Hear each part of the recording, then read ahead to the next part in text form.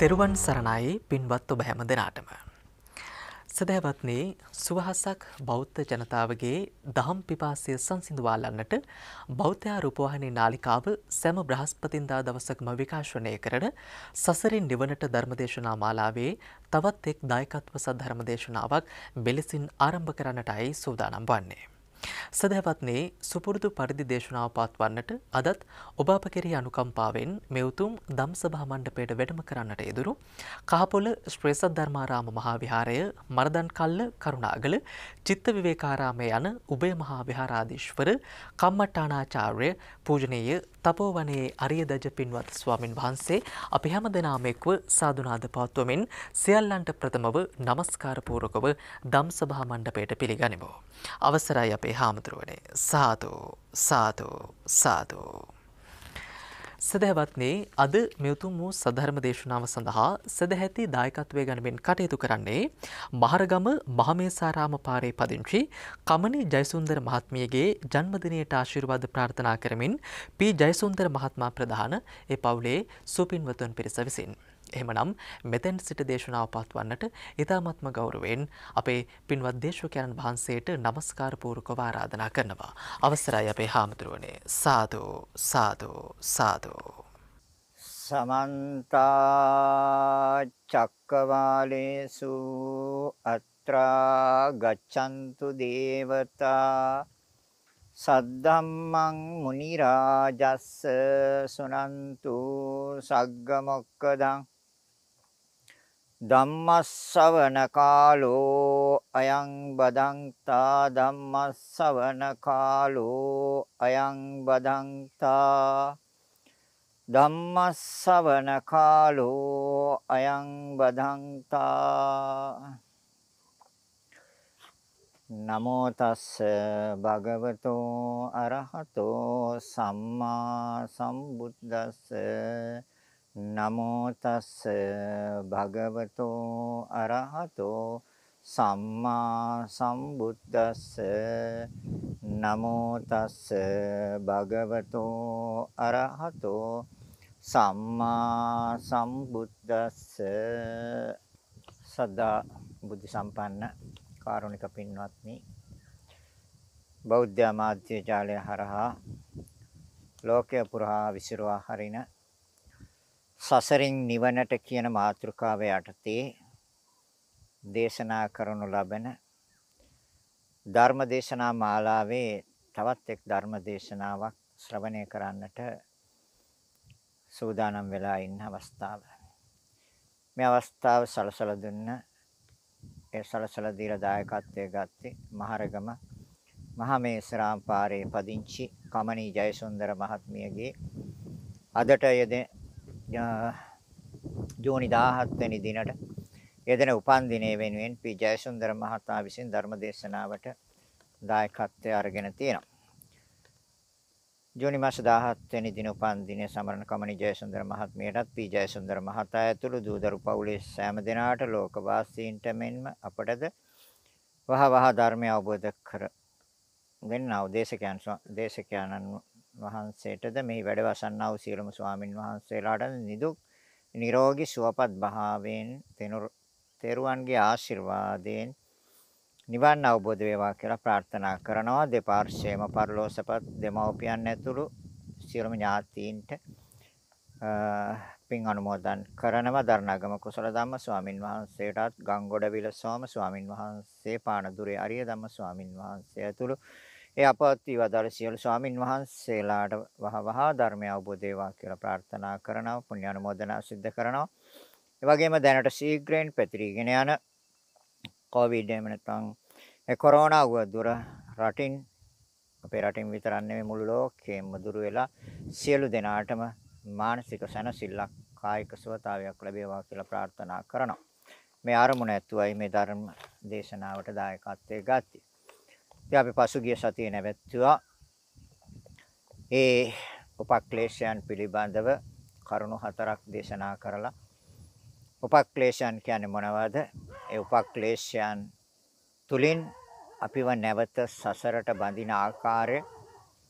ඒ උපක්ලේශයන්ගෙන් මිදිලා අපි නිවැරදි මගට අවතීර්ණ වෙලා ඒ නිවැරදි මඟ අනුගමනය කරමින් අරිහත්ත්වයට දක්වා යන ක්‍රමය. එයින් කරුණු හතරක් අපි ගත්තා. කරුණු 10ක් තියෙනවා.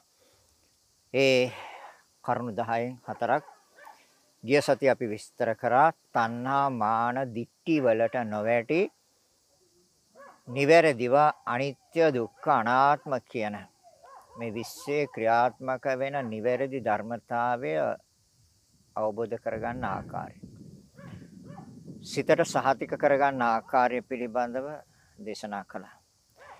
ඒ ඉතිරි කරුණු පිළිබඳව අද දේශනාවෙන් විස්තර කරනවා.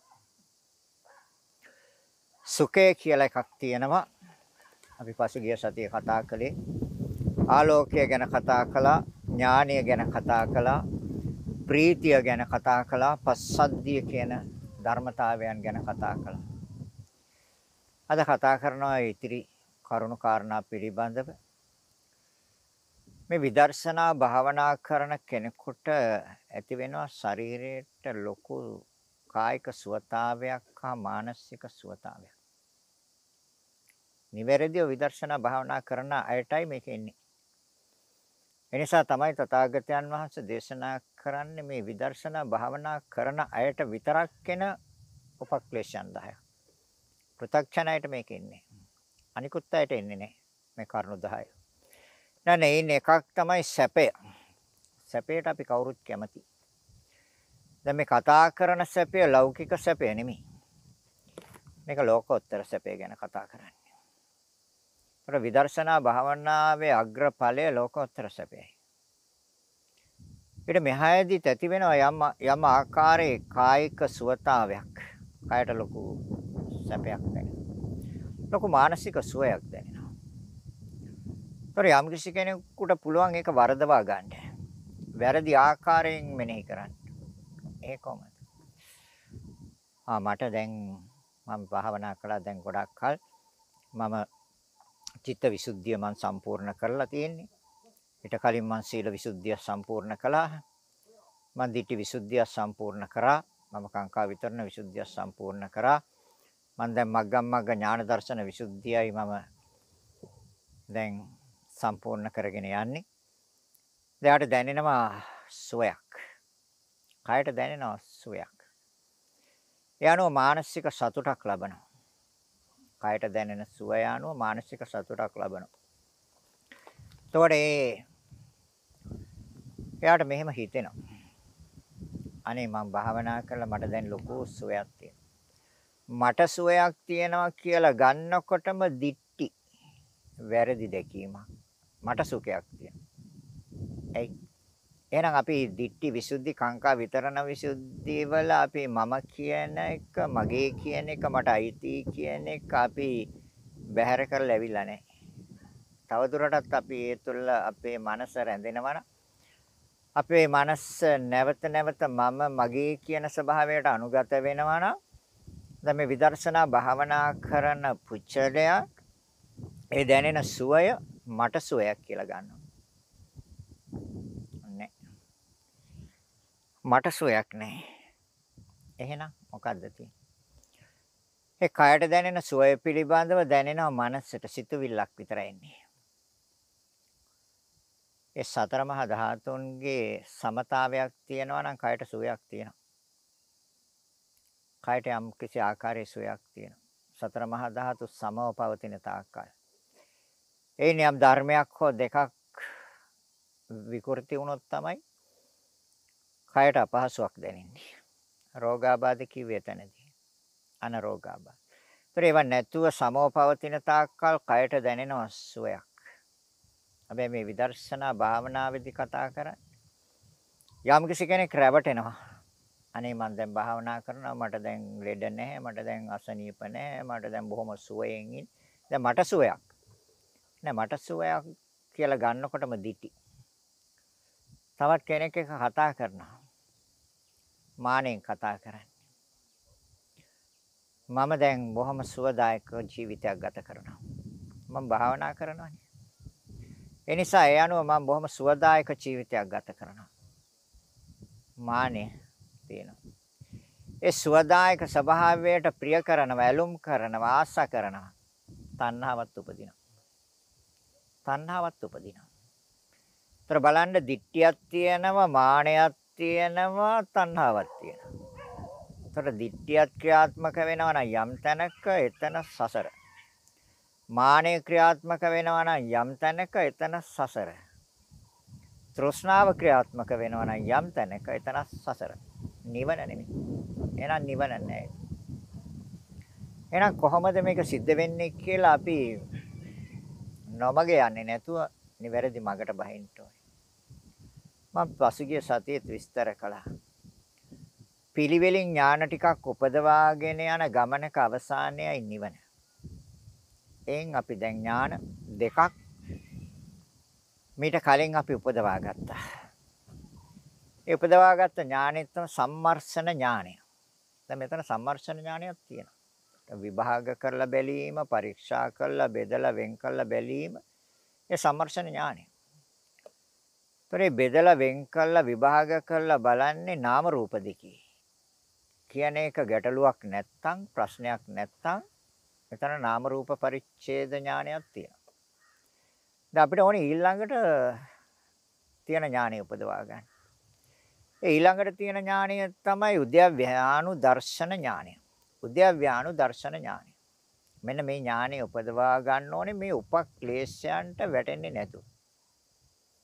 පසුගිය සතියේ කරුණු හතරක් අරගෙන ඒ උපක්ලේශයන්ගෙන් ගැලවිලා නිවැරදිව ඒ උද්‍යව්‍යානු දර්ශනය උපදවා ගන්න ආකාරය ඒ තුළින් අනිත්‍ය ලක්ෂණය ප්‍රකට වෙනවා දුක්ඛ ලක්ෂණය ප්‍රකට වෙනවා අනාත්ම ලක්ෂණය ප්‍රකට වෙනවා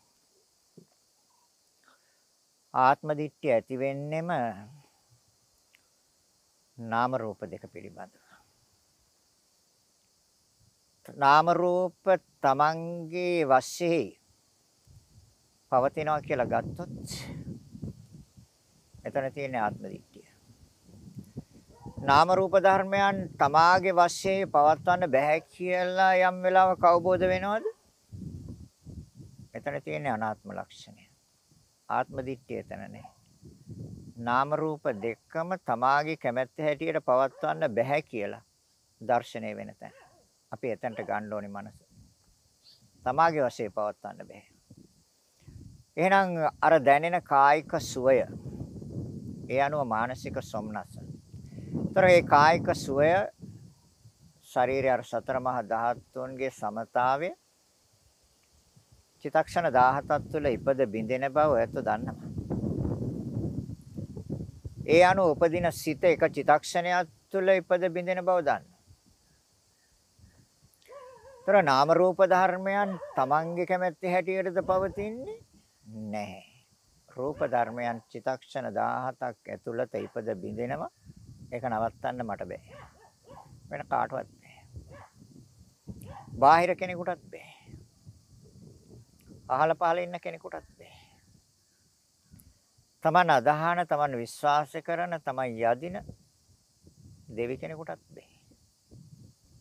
බුදුරජාණන් වහන්සේටත් බෑ. එහෙනම් මේ ධර්මතාවයන් ලෝකේ විශ්ව ක්‍රියාත්මක වෙන චිතක්ෂණ 17ක් තුළ ඉපද ඉපද බිඳෙනවා කියන කාරණේ පිළිබඳ. ඒකේ සමතාවයේ තියෙන තාක්කල් ගැටලුවක් නැහැ. එහෙනම් ඒ පිළිබඳව ඇති වෙන සිතුවිලි එක චිතක්ෂණයක් තුළ ඉපද බිඳෙනවා. එහෙනම් ඉපදෙනවට කිව්ව උදේ කියලා බිඳෙනවට කිව්ව වැයි කියලා. ඒක දකින්නවට කිව්ව දර්ශන කියලා නුවණින් දකින්නවද ඥාන දර්ශනය. නුවණින් දකින්නවා. උද්‍යව්‍යානු දර්ශන ඥානය. දැන් ඒ අනුව අනිත්‍ය ලක්ෂණය ප්‍රකට වෙනවා. දැන් අනිත්‍ය ලක්ෂණය කොහොමද ප්‍රකට වෙන්නේ? ඒ කායික සැපය කියන එක අනිත්‍යයි. එයි ඒ සතර මහා ධාතුන්ගේ සුවතාවයට චිතක්ෂණ 17ක ආයශයක් තියෙන්නේ.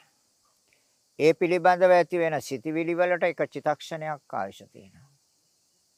එහෙනම් චිතක්ෂණ 17ක රූපයක් උදේවැය ඇති වෙලා නැති වෙනවා. එක චිත්තක්ෂණයක් තුළ අර සොම්නස කියන ධර්මතාවයත් ඇති වෙලා නැති වෙනවා. ඇති වෙනවට කිව්ව උදේ කියලා නැති වෙනවට කිව්ව වැය කියලා. ඒ දකින්නවට කිව්ව දර්ශන කියලා දකින්නේ නුවණින් ඥාන දර්ශනය. අපි එහෙනම් ඒ සැපය මට අයිති එකක් කියලා ගන්නෑ. ඇයි? ඒ කායික සැපය කයට දැනෙන සුවතාවය මට අයිති එකක් කියලා ගන්නෑ. ඇයි? ඒක සතර මහා ධාතුන්ට අයිති එකක්. ඒ ස්වතාවය නිසා ඇතිවෙන මානසික සොම්නස් ස්වභාවය ඒක සිතුවිල්ලක් විතරයි. චිතක්ෂණයක් තුළ ඉපද බින්දෙනවා නම් එතන තියෙන අනිත්‍ය ලක්ෂණයක්. අන්න බුදුරජාණන් වහන්සේ දේශනා කරන මේ විශ්වයේ ක්‍රියාත්මක වෙන ධර්මතාවයන් අපි නිවැරදිව මනසින් දකිනවා. මේවා නොදන්න, මේවා නොතේරෙන, මේවා නොවැටහෙන අය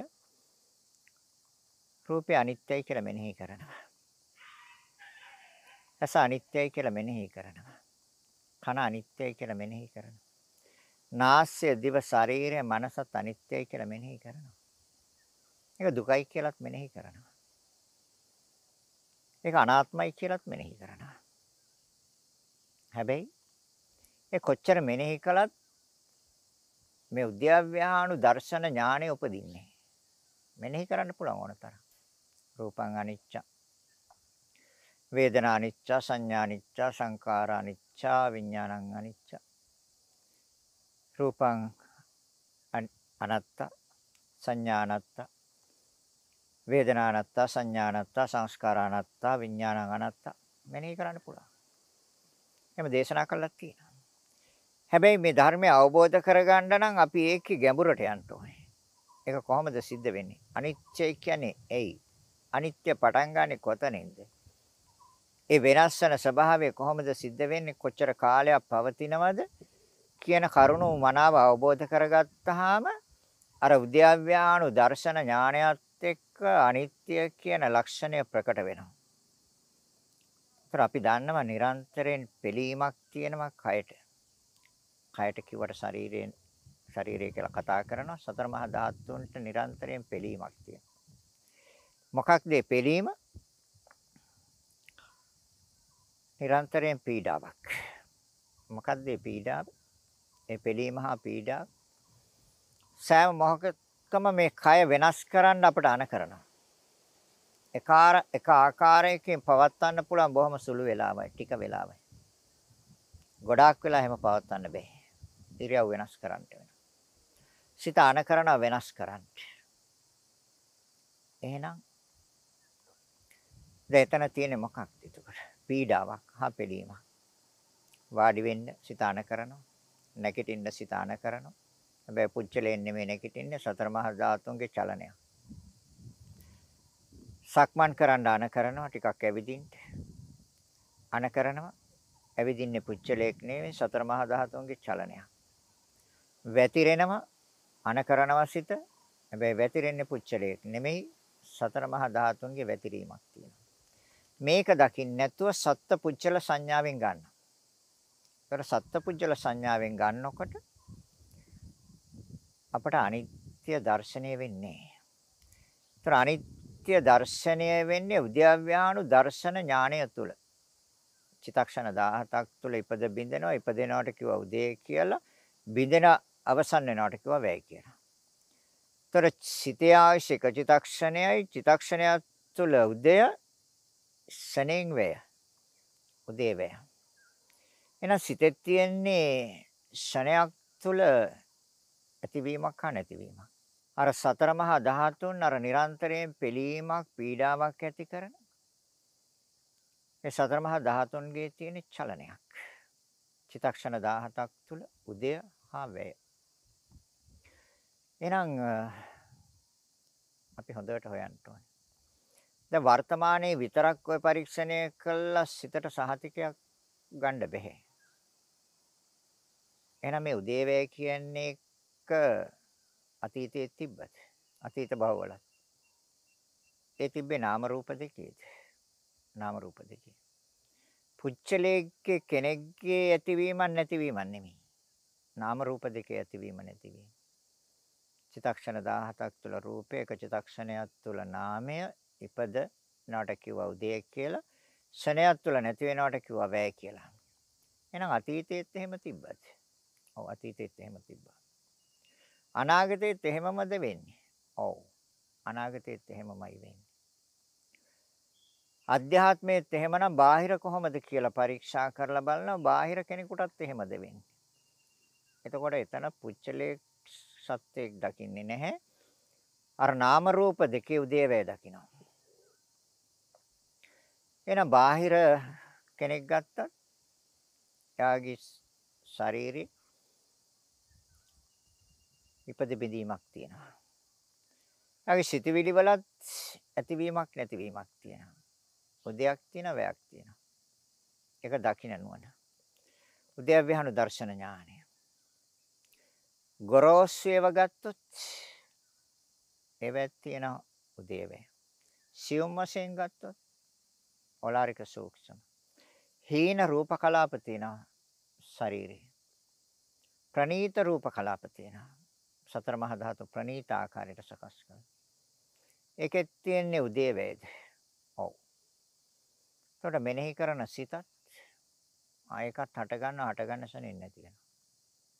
එහෙනම් අර සුඛය කියන ධර්මතාවය ශරීරයට දැනෙන සුවය අතීත වර්තමාන අනාගත අධ්‍යාත්මික බාහිර ඕලාරික සූක්ෂම හීන ප්‍රනීත ප්‍රනීතාකාරයෙන් ගත්තත් හටගැන්මක් තියෙන සනෙන් නැතිවීමක් තියෙන උදේවේ දුර ඉන්න කෙනෙක්ගේ ගත්තත් ඒ ස්වභාවයයි තියෙන්නේ. හට ගන්නවා, හට ගන්න ශරණෙන් නැති වෙනවා. සතර මහා ධාතු. ඔය සුද්දාෂ්ටක කලාප. හාසිත එක චිතක්ෂණයක් තුළ. දැන් එතනදී අපිට එකක් දර්ශනය වෙන අනිත්‍ය දර්ශනේ අර පෙලීම තමයි පීඩාව. පෙලීමක් පීඩාවක් ඇති කරනවා නිරන්තරයෙන්. ඒක මනසට ලොකු පීඩාවක්. කායික පීඩාවක්. කුසගිනි පීඩාව සංසිඳව ගන්න වෙනවා. ඒ අපහසුතාවය සංසිඳව ගන්නට වෙනවා. ඒ පිළීම නවත්ත ගන්න වෙනවා. ඉතින් කරදරයක් නේ. ඒ කරදරය තමයි දුක. නිරන්තරයෙන් පිළීමක් පීඩාවක්. වතුර ඉල්ලනවා. කෑම ඉල්ලනවා. ඇඳුම් පැළඳුම් ඉල්ලනවා. බෙහෙත් තේත් ඉල්ලනවා. ආරක්ෂාව ඉල්ලනවා. පුළුවන් දෙන්න. කොයි වෙලාවෙත් මේ සියලු දේවල් සපුරන්න ඕනේ. එහෙම නැත්තම් පවත්වන්න බෑ. එහෙනම් නිරන්තරයෙන් පිළීමක් හා පීඩාවක් තියෙන එක තමයි දුක්ඛ ස්වභාවය. ඉතින් නාම රූප ධර්මයන් Tamange වශයෙන් පවත්වන්න බෑ කියලා අවබෝධ වුණොත් අනාත්ම ලක්ෂණය ප්‍රකට වෙනවා. ඒ නාම රූප දෙක Tamange වශයෙන් පවත්වන්න පුළුවන්. තමාගේ කැමැත්තට අනුව එකක්වත් පවත්වන්න බෑ තමාගේ කැමැත්තට අනුව. අන අනාත්ම ලක්ෂණය ප්‍රකට වෙනවා. අනාත්ම ලක්ෂණය. එතකොට අනිත්‍ය දුක්ඛ අනාත්ම කියන මේ ත්‍රිලක්ෂණය විශ්වේ ක්‍රියාත්මක වෙන ඊ타ත්ම ලක්ෂණ ධර්මතාවයන් තුන. මේ තුලින් තමයි අපි මේ ධර්මය අවබෝධ කරන්නේ මෙතනින් එහාට අනිත්‍ය දුක්ඛ අනාත්ම වශයෙන් මෙනෙහි කරලා අරිහත්ත්වයට දක්වාම අනිත්‍ය දුක්ඛ අනාත්ම වශයෙන් මෙනෙහි කරන්න තියෙනවා. එහෙනම් ඥාණය ගැන බැලුවා අපි. ඒතර ආලෝකය ගැන බැලුවා. පස්සද්ධිය ගැන බැලුවා. ඒතර එන සුඛයත් ඒ ආකාරයම තමයි. අනිත්‍යයි. අනිත්‍ය වෙන්නේ කොහොමද? ඒ සුඛය දැනෙන කයත් චිතක්ෂණ 17ක් තුළ ඉපද බින්දෙනවා. ඒ මෙනෙහි කරපු සිත ඒ දැනුණු ඒ පිළිබඳව සෝය කායික සෝය පිළිබඳව මනසට දැනුණු ඒ සොම්නස් ස්වභාවයේ චිතක්ෂණය තුළ ඉපද බිඳිනවා එහෙනම් අනිත්‍යයි. తాවකාලිකයි. අස්තිරයි. නিত্য වශයෙන් පවතින්නෙම නැහැ. පෙරළුව විපරිණාමයි. විදීම් ලක්ෂණයක් තියෙනවා. පෙරළලා දැම්ම. අනේ යම් කෙනෙක් නිවැරදි අවබෝධ කරගත්තා උද්‍යව්‍යානු දර්ශන ඥානය තුළින් අනිත්‍ය ලක්ෂණය දුක්ඛ ලක්ෂණය අනාත්ම ලක්ෂණය. ඒක මනසට දර්ශනය කරගන්න ඕනේ. මනසින් දකින්න ඕනේ. මනසින් නොදකින තාක්කල් නිට්ටයයි කියලා ගන්නවා. සැපයි කියලා ගන්නවා. ආත්මයි කියලා ගන්නවා. නෑ බුදුරජාණන් වහන්සේ දේශනා කරන්නේ අනිත්‍යයි දුකයි අනාත්මයි. එහෙනම් අනිත්‍යයි දුක්ඛයි අනාත්මයි කියලා අපි තොල්මැතුරුවට අපි සිතින් සිතුවට නෑ. අනිත්‍ය දුක්ඛ අනාත්ම කියන මේ නිවැරදි ලක්ෂණ තුන අපි මනාව දර්ශනයට ගන්න ඕනේ. දර්ශනය කර ගන්න ඕනේ. ඒ දර්ශනය උද්‍යව්‍යානු දර්ශනයයි. ඒ උදේවැය තුල තියෙනවා. නිරන්තරයෙන් හට ගන්නවා බිඳෙනවා නම් එතන තියෙන පිළීමක්. එතන තියෙන පීඩාවක්. පවතිනවා නම් යම් කාලයක් අන්න එතන සුවයක් තියෙනවා. නෑ. ක්ෂණයක් ක්ෂණයක් පාසා නාම රූප දෙකම ඉපද බිඳෙනවා නම් එතන තියෙන පිළීමක් හා පීඩාවක්. ඒක තමයි දුක්ඛ ලක්ෂණය. ඒතරේ දුක මට ඕන වෙලාවට අයින් කරන්න බෑ. ඒ ක්‍රියාව මට ඕන ආකාරයට වෙනස් කරන්නත් බෑ. චිතක්ෂණ 17ක් තුළ ඉපද බින්දෙන සතර මහා ධාතු මට ඕන ආකාරයට වෙනස් කරන්නත් බෑ. චිතක්ෂණයක් තුළ හට ගන්න සිතත් මට ඕන ආකාරයට වෙනස් කරන්නත් බෑ. මගේ වශයේ පවත්වන්න බෑ. තමාගේ වශයේ පවත්වන්න. වෙන කාගේවත් වශයේ පවත්වන්නත් බෑ. මේ ලෝකේ බලවත් කියන කිසිම කෙනෙක් වශයෙන් පවත්වන්නත් බෑ. ඉහළ ඉන්න අය පිළිබඳ එයාලට පවත්වන්නත් බෑ. සක්‍ර දේවේන්ද්‍රයටත් බෑ. මහා බ්‍රහ්මයටවත් බෑ. බුදුරජාන් වහන්සේටවත් බෑ. ඒ නිසා තමයි තථාගතයන් වහන්සේ දේශනා කරන්නේ අනිච්චයි. දුකයි. අනාත්මයි. අනේ යම් කිසි කෙනෙක් අර සුඛය පිළිබඳව මට සැපයි කියලා ගන්නෙ නැහැ. මට සැපයි කියලා ගත්තොත් දිටි. සතර මහා ධාතුන්ගේ ඉපදීම හා බිඳීම. සිත හා සිතුවිලි වල ඉපදීම බිඳීම. නාම රූප දෙකේ ඇතිවීම නැතිවීම. එයා නිවැරදිව දකිනවා නම් අනිත්‍ය ලක්ෂණය දකිනවා. ඒ අනුව යාට උද්‍යව්‍යහානු දර්ශන ඥානය එනවා. ඒ උද්‍යව්‍යහානු දර්ශන ඥානය තුළ අනිත්‍ය අනිත්‍ය දුක්ඛ අනාත්ම කියන ලක්ෂණ තුනම ප්‍රකට වෙනවා. විශේෂයෙන් අනිත්‍ය ලක්ෂණය. හොඳටම ප්‍රකට වෙනවා අනිත්‍ය ලක්ෂණය. උදේවැය දෙක තුල තමයි දුක්ඛ ලක්ෂණය ප්‍රකට වෙන්නේ. එයි නිරන්තරයෙන් පිළීමක් පීඩාවක් තියෙන නිසා. එහෙනම් මම නෙමෙයි මේ සුවේ විඳින්නේ. සතර මහා ධාතුගේ ක්‍රියාවක් හා සිත හා සිතුවිලි වල ක්‍රියාවක්. නිවැරදිව දැනගත්තා, නිවැරදිව දැකගත්තා. දැන් මට සුවයක් කියලා ගත්තොත් නෑ. කතා කළොත් තව කෙනෙක් එක්ක මම භාවනා කරනවා මම දැන් හොඳට භාවනා කරන්න පුළුවන් මට මට දැන් ලොකු සුවයක් දැනෙනවා කියලා කෙනෙක් එක්ක කතා කරනවා නම් ඒ මාන්නෙන් කතා කරන්නේ. ඒ මන සිතුවිල්ලම මාන්නය. ඒතරේ සුඛයට ඇලුම් කරනවද? නෑ. සුඛයට ඇලුම් කරනවා නම් තණ්හාව. ඒතර තණ්හා මාන දිටි අන්න ක්‍රියාත්මක වෙනවා. එතන මේ විදර්ශනා භාවනා තුළින් යා විදර්ශනා භාවනා කරන්නේ. මේක නිවැරදි නිවැරදි විදර්ශනා භාවනාව. හැබැයි තණ්හා මාන දිට්ටි වලට යන්නේ නැතුව ගියොත් තමයි නිවැරදි විදර්ශනා භාවනාවක් වෙන්නේ. තණ්හා මාන දිට්ටිත් එක්ක ගියොත් ඒක විදර්ශනා භාවනාව ලෝකෝත්තර වෙන්නේ. ඒ කියන්නේ ලෝකයෙන් එතර කරවන්නේ. ලෝකයෙන් එතර වෙන්න බෑ.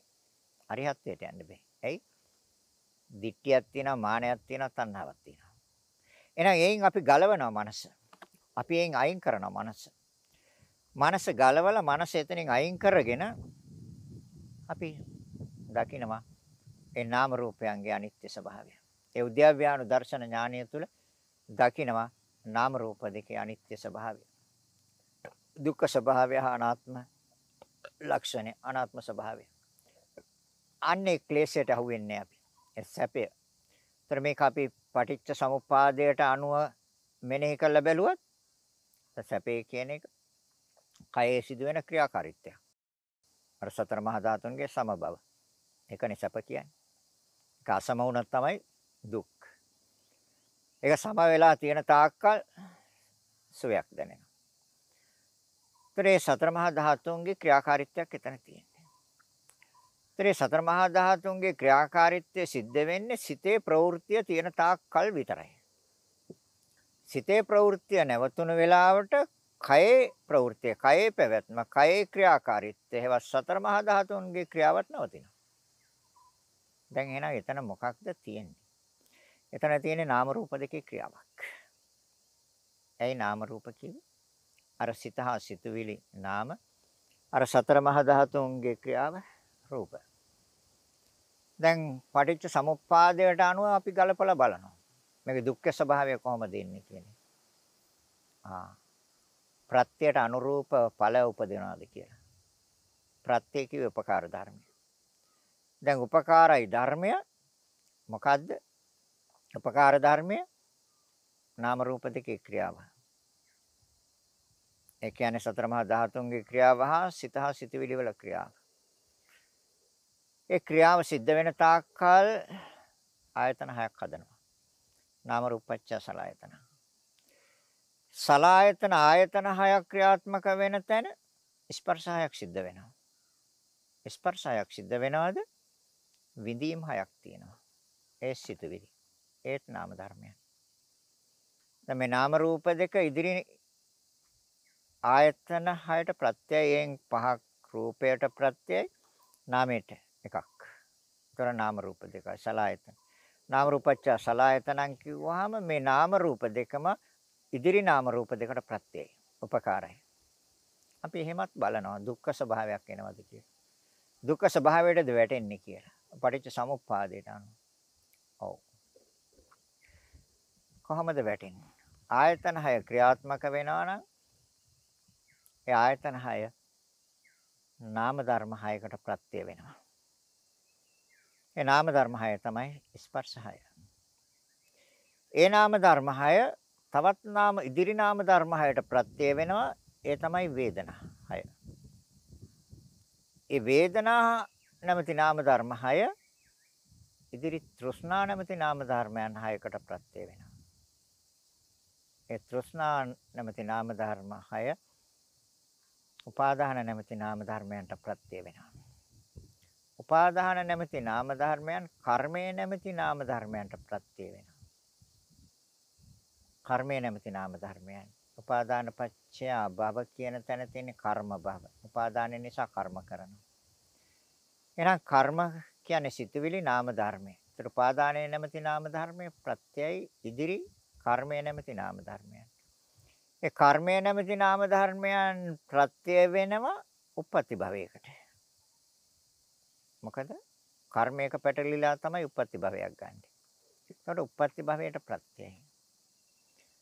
උප්පත්ති භවයට ප්‍රත්‍ය කර්මය භවය ප්‍රත්‍ය වෙනවා ඡාතියට. අන්න පහල කරනවා. සකස් කරනවා පිළියෙල කරනවා. භවපච්චා ඡාති. ඡාතිපච්චා ජරා මරණ. එහෙනම් ජරා මරණ ශෝක පරිදේව දුක්ඛ දෝමනස් උපායාස කියන්නේ අපි අප්‍රිය ඒවා. අපි අකමැති ඒවා. අපි පිළිකුල් කරන ඒවා. හැබැයි අපි අප්‍රිය වුණාට අපි අකමැති වුණාට අපි පිළිකුල් කරාට බැහැ ලැබෙනවා. ලැබුණේ කොහොමද? ප්‍රත්‍යයට අනුරූප ඵල ඉපදෙව්වා. ප්‍රත්‍යයට අනුරූප ඵල උපදින බව අවබෝධ වුණොත් ඒ ප්‍රත්‍ය ධර්මයන් ඉදිරි ධර්මයන්ට ප්‍රත්‍ය වෙන කාලය විසඳගත්තොත් උද්‍යව්‍යානු දර්ශනයක් වෙනවා අනිත්‍ය දුක්ඛ අනාත්ම කියන ලක්ෂණ තුනක් ප්‍රකට වෙනවා. හොඳටම ප්‍රකට වෙනවා. දැන් අපි දන්නවා නාම රූප දෙකේ රූපයකට චිත්තක්ෂණ 17ක් හා නාමයට එක චිත්තක්ෂණයක්. ශණයක් තුළ ඉපද බිඳෙන්නේ ඉදිරි ධර්මයට ප්‍රත්‍ය වෙලා. අර ආයතන හයෙන් පහකට 17ක ආයුෂ හා එක ආයතනයකට චිත්තක්ෂණයක ආයුෂ ප්‍රත්‍ය වෙනවා. බලන්න කොච්චර කෙටි කාලයක් තුළද මේක ක්‍රියාත්මක වෙන්නේ. එන එතනක් තියෙන අනිත්‍ය ලක්ෂණය. ඒ තුළිනුත් පුළුවන් අපට අනිත්‍ය කියන ලක්ෂණය මනාව අවබෝධ කරගන්න. එයි නාම රූපච්ච සලආයතන. හැබැයි චිත්තක්ෂණ 17ක් එක චිත්තක්ෂණයක් තුළ ඉදිරි ධර්මයට ප්‍රත්‍ය වෙනවා. ඒ ධර්මයට පවතින්න බෑ ආයතන 6න් පහකට පවතින්න පුළුවන් චිත්තක්ෂණ 17ක් එක ආයතනයකට පවතින්න පුළුවන් එක චිත්තක්ෂණයක්. හැබැයි ශනේන් ඒ ඵලය හේතුවක් වෙනවා තවත් නාම ධර්ම 6කට. අපි ඉස්සෙල්ලා කිව්වා. තවත් නාම ධර්ම 6කට ප්‍රත්‍ය වෙන්නේ කොච්චර කෙටි කාලයකින්ද? එතකොට චිතක්ෂණ 17ක කාලයේ තියෙන රූපය හා එක චිතක්ෂණයකට ආයු තියෙන නාමය මන ආයතනය චක්කායතන සෝතායතන ගානායතන චිවායතන කායායතන කියන ධර්මතාවයන්ට චිතක්ෂණ 17ක් ආ මන ආයතනයට එක චිතක්ෂණයක් තුළ ඉපද බින්දෙන ඉතිරි ධර්මයට ප්‍රත්‍ය වෙනවා. ඒ නාම ධර්මයක් ස්පර්ශහයට ප්‍රත්‍යයයි. එන ස්පර්ශහයට ප්‍රත්‍ය උනේ මේ ආයතන 6යි. සලායතන පච්චාපස්ස. ඒතර ඒ ස්පර්ශ 6 කියන්නේ එක චිතක්ෂණයක් තුළ ඉපද බින්දෙන ධර්මතාවය. චක්කු සම්පස්සේක චිතක්ෂණයයි. සෝත සම්පස්සේක චිතක්ෂණයයි. ගාන සම්පස්සේක චිතක්ෂණයයි. චිවා සම්පස්සේට එක චිතක්ෂණයයි. කාය සම්පස්සේක චිතක්ෂණයයි. මනෝ සම්පස්සේට එක චිතක්ෂණයයි. එහෙනම් මේ නාම ධර්මයන් අර සලායතනයන්ගේ ඵල හැටියට ඉපදුනාට ශණයෙන් හේතුවක් වෙනවා ඉදිරි ඵලයට කොච්චර කෙටි කාලයකද එක චිතක්ෂණයක් තුළ එහෙම නැත්නම් හයම ක්‍රියාත්මක වුණොත් චිතක්ෂණ හයයි යන්නේ. ඒතර එතන තියෙන්නේ නিত্য ලක්ෂණයක්ද අනිත්‍ය ලක්ෂණයක්ද? එතන තියෙන්නේ හටගන්මක් සහ බිඳීමක්ද දීර්ඝව පවතින එකක්ද? නෑ. දීර්ඝව පවතින එකක් නෙමෙයි. හට ගන්නව හට ගන්න ශනේ නැති වෙනවා. ඒතර හට ගන්නවට කිව්වා උදේ කියලා නැති වෙනවට කිව්වා වැය කියලා. ඒක දකින්නවද? දර්ශනය නුවණින් උද්‍යව්‍යානු දර්ශන ඥානයයි. එහෙනම් පටිච්ච සමුප්පාදයට අනුව ගලපලා බැලුවත් අපට පේනවා අනිත්‍ය ලක්ෂණය. එතකොට අර ස්පර්ශය නැමැති නාම ධර්මයන් ඒ හයටම පවතින්න පුළුවන් චිත්තක්ෂණ හයක කාලයක්. ඒතර අපි දන්නවා චිත්තක්ෂණයක් කියන අර 17 එකයි කියන කාරණේ. 17ක් කියන එකත් අපි දැන් හොඳට විසඳගෙන තියෙනවා 17ක් කියන්නේ තප්පරයක් ලක්ෂයකට බෙදුවත් ඊටත් වඩා කෙටි කාලයක් කියන එක අපි හොඳට පැහැදිලි කරගෙන තියෙනවා. ඒතර ඒනොත් එකක් තමයි චිත්තක්ෂණයක් කියන්නේ. ඒතර චිත්තක්ෂණයක් කොහොමද අපි කාලයක් පෙන්වන්නේ? කාලයක් පෙන්වන්න බෑ චිත්තක්ෂණය. එහෙනම් ඒ තරම් කෙටි කාලයක් තුල ඇති වෙලා නැති වෙනවා නම් ඇති වෙනවට කිව්වා උදේ කියලා නැති වෙනවට කිව්වා වැය කියලා. ඒතරේ උද්‍යව්‍යානු දර්ශන ඥානය තුල මනාව දර්ශනය වෙනවා අනිත්‍ය කියන ලක්ෂණය. ඒතර නිරන්තරයෙන් පිළීමක් පීඩාවක්. මොකද්ද? ඒ නාම ධර්මයන් හය ඉදිරි නාම ධර්මයන් හයට ප්‍රත්‍ය වෙනවා. ප්‍රත්‍යයට අනුරූපව ඵල උපදවනවා. පස්සපච්චා වේදනා. අන වේදනා. ତර වේදනා වලට ආයශත් චිතක්ෂණ එක චිතක්ෂණයේ වේදනාවකට වේදනා හයටම ගත්තොත් චිතක්ෂණ හයයි. චක්කු සම්පස්සජා වේදනා, සෝත සම්පස්සජා වේදනා, ගාන සම්පස්සජා වේදනා, ජීව සම්පස්සජා වේදනා, කාය සම්පස්සජා වේදනා, මනෝ සම්පස්සජා වේදනා. ඔය හයටම ගත්තොත් චිතක්ෂණ හයයි යන්නේ. එහෙනම් එතනක් තියෙන්නේ ඇතිවීමක් හා නැතිවීමක්. ඇති වෙනවට කිව්වා උදේ කියලා, නැති වෙනවට කිව්වා වැයි කියලා. ඒ තරම් කෙටි කාලයක් තුල නැති වුණාට ඉදිරි ධර්මයන්ට ප්‍රත්‍යයයි. ප්‍රත්‍යයට අනුරූප ඵල උපදවනවා කියන්නේ අන්න ඒකයි බුදුරජාණන් මේ නාම රූප ධර්මයන් එතකොට තමන්ගේ කැමැත්ත හැටියට පවත්වන්න බැරි බව අවබෝධ වුණොත් අනිත්‍ය ලක්ෂණය අනාත්ම ලක්ෂණය ප්‍රකට වෙනවා. ඒතර නාම රූප ධර්මයන් අපේ කැමැත්ත හැටියටද පවතින්නේ හේතු ප්‍රත්‍යයට අනුරූපවද? හොඳට හොයන්න. හොඳට කල්පනා කරන්න. හොඳට විභාග කරන්න. හොඳට පරීක්ෂා කරන්න. ප්‍රත්‍යයට අනුරූපව ක්‍රියාත්මක වෙන්නේ. එහෙනම් නාම රූප ධර්මයන් ඒ ප්‍රත්‍යයට අනුරූපව. ඒකට තමාගේ වශයේ පවත්වන්න බෑ. ඒ ප්‍රත්‍යයට අනුරූපවයි ක්‍රියාත්මක වෙන්නේ. අන තමාගේ වශයේ පවත්වන්න බැරි බව අවබෝධ වුණොත් අනාත්ම ලක්ෂණය ප්‍රකට වෙනවා. ඉදිරි ධර්මයට ප්‍රත්‍යයයි. ତර වේදනා නැමැති නාම ධර්මය, තණ්හා නැමැති නාම ධර්මයන්ට ප්‍රත්‍යයයි. චිතක්ෂණයක් තුළ ඉපදෙන්නේ. එතකොට එහෙනම් ප්‍රත්‍යයට අනුරූප ඵල. එතකොට නාම රූපද තමාගේ වශයෙන්ද පවතින්නේ? මේ නාම රූප වල ක්‍රියාකාරීත්වය නැහැ. ප්‍රත්‍යයට අනුරූපව උපදින්නේ. ගැඹුරුයි. ගහම්බීරයි. හැබැයි නිවැරදිව භාවනා කරගෙන නිවැරදිව මේ පරීක්ෂණය කරගෙන යන යන කෙනෙකුට මේක නිවැරදිව දැනගන්න පුළුවන් දැක ගන්න පුළුවන් ඒ අනුව අර ක්ලේශයන්ට ක්‍රියාත්මක වෙන්න දෙන්නේ නැතුව නිවැරදි මගට බහින්න පුළුවන් අනිත්‍ය දුක්ඛ අනාත්ම කියන ලක්ෂණ තුන මනාව දර්ශනය කරගෙන පිළිවෙලින් ඥාන ටික උපදවා ගන්න. උද්‍යව්‍යහන දර්ශන ඥානයට පස්සේ එන්නේ බංගානු දර්ශන ඥානය.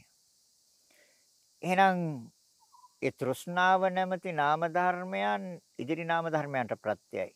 ඒ උපාදාන නැමැති නාම ධර්මයන්ට. කොච්චර කාලයක් තුල? එක චිත්තක්ෂණයක් තුල.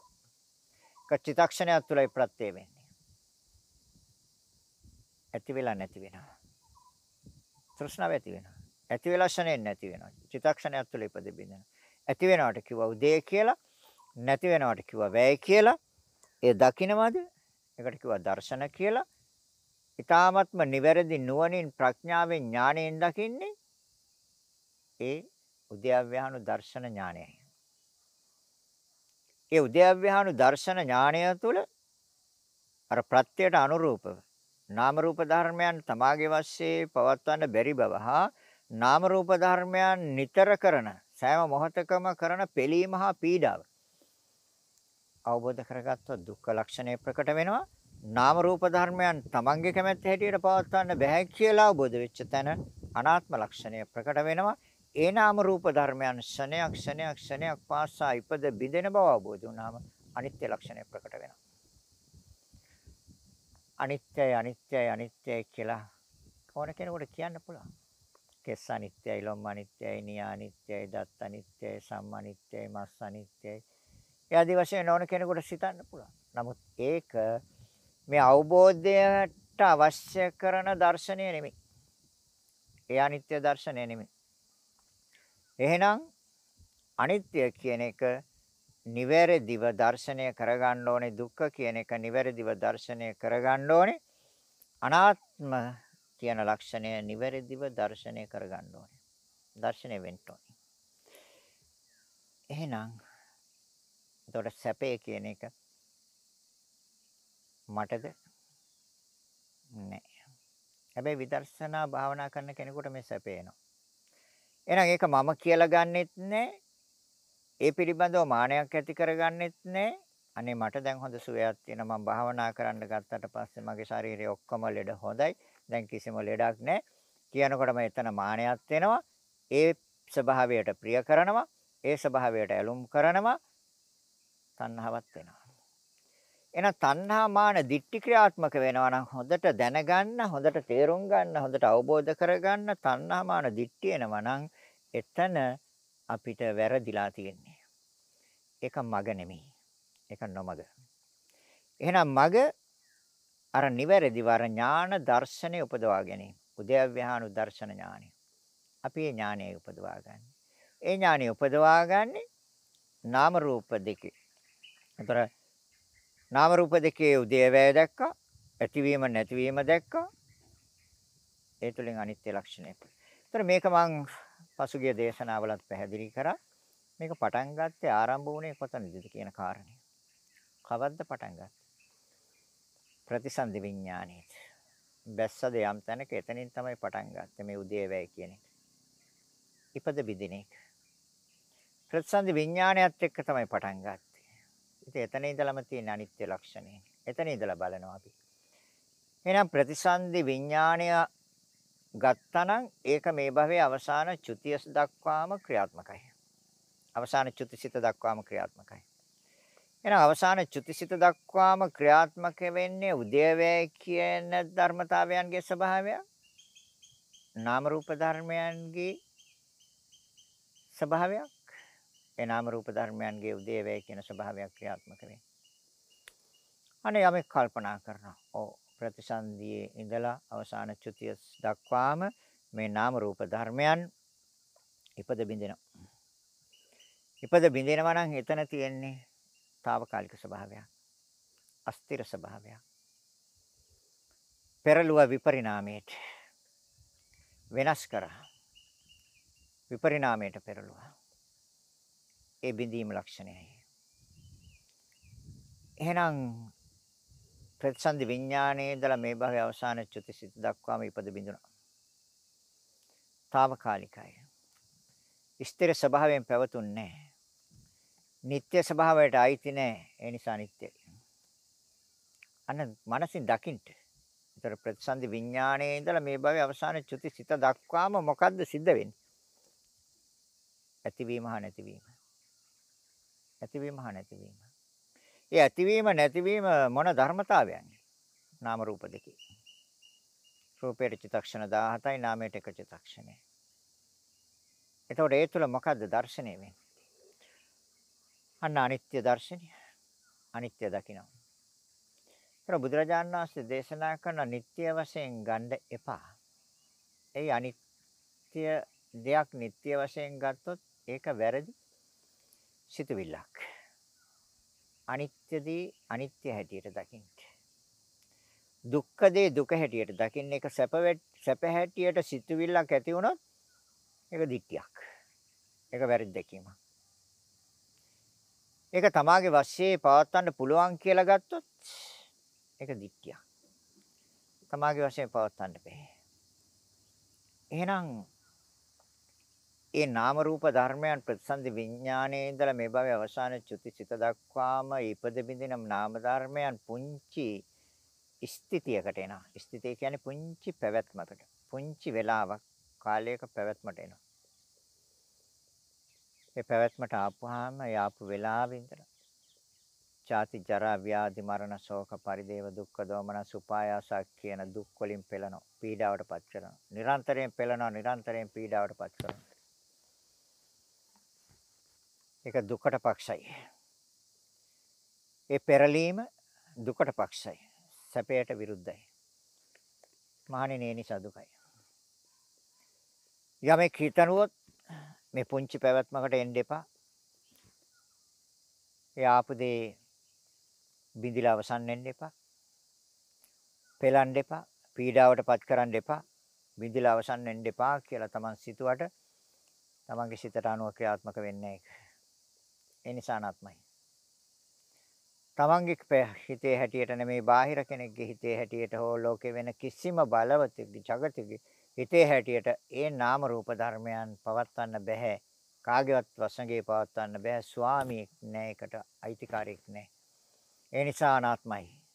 අන්න යම් කිසි කෙනෙක් කල්පනා කරනවා. අන්න ඒ විදිහට කල්පනා කරනවා නම් එහෙනම් අපි සැපේ කියන එක ගන්නෙ නෑ ඊට පස්සේ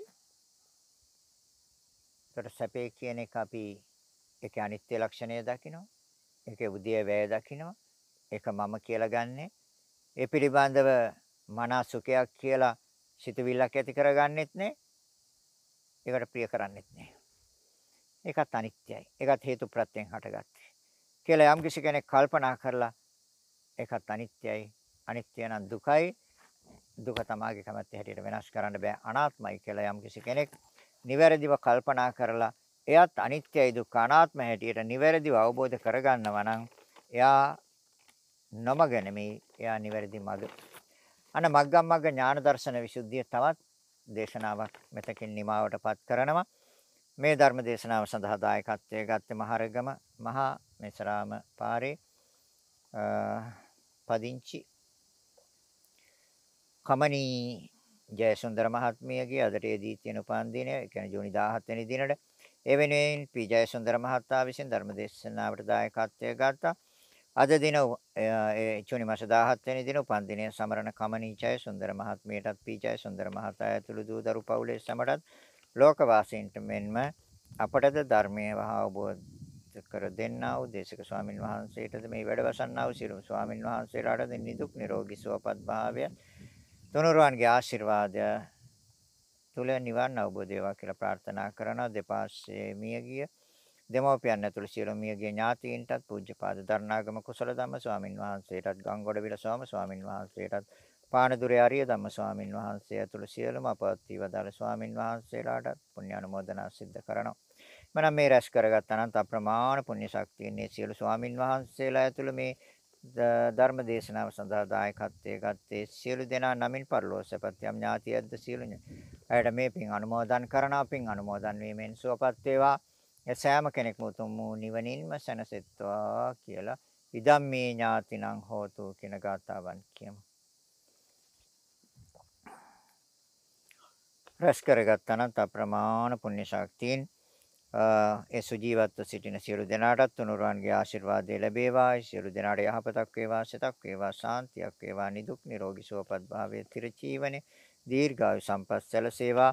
ඒ සඳහා මේ උතුම් පුණ්‍ය ශක්තිය හේතු වාසනා වේවා කියලා හිතාගෙන සාදු කියන්න. ඒ වගේම දැනට ශීඝ්‍රයෙන් පැතිර යන කොවිඩ් එහෙම නැත්නම් කොරෝනා වදුර අපේ රටින් විතරක් නෙමෙයි මුළු ලෝකෙම තුරන් වෙලා සියලු ලෝකවාසීන්ට රටවාසීන් ඇතුළු සියලු ලෝකවාසීන්ට කායික සැනසෙල්ලක් මානසික සැනසෙල්ලක් ලැබේවා. ඒ සඳහා මේ උතුම් පුණ්‍ය ශක්තිය ආශිර්වාදයක්ම වේවා කියලා හිතාගෙන සාදු කියන්න. දෙවියන්ට පින් දෙමු. ආකාසට්ටා චබුම්මට්ටා දේවානාගා මහිද්దికා පුඤ්ඤන්තං අනුමෝදිත්වා චිරන් රැක්කන්තු ලෝක සාසනං ආකාසට්ටා චබුම්මට්ටා දේවානාගා මහිද්దికා පුඤ්ඤන්තං අනුමෝදිත්වා චිරන් රැක්කන්තු දේශනං ආකාසට්ටා ච බුම්මට්ටා දේවා නාග මහිත්‍තිකා පුඤ්ඤන්තං අනුමෝදිත්වා චිරන් රැක්කන්තු මං පරන්ති. රැස් කරගත් අනන්ත අප්‍රමාණ පුණ්‍ය ශක්තිය ඉන්න බව සෑම දිනාටම මේ සංසාර දුකෙන් නිදහස් වීම සඳහා මේ උතුම් පුණ්‍ය ශක්තිය හේතු වාසනා වේවා කියලා හිතාගෙන සාදු කියන්නේ. සෑම දිනාටම ආශිර්වාද කරනවා. අභිවාදන සීලිස නිච්ඡං වත්තාපචායිනෝ චත්තාරෝ ධම්මා වඩ්ඩಂತಿ ආයුවන්නෝ සුඛං බලං ආයුරාෝග්‍ය සම්පatti සග්ග සම්පatti මේවච අතෝ නිබ්බාන සම්පatti ඉමිනාතේ සමිච්ඡතු සෑම දිනාටම තෙරුවන් සරණයි.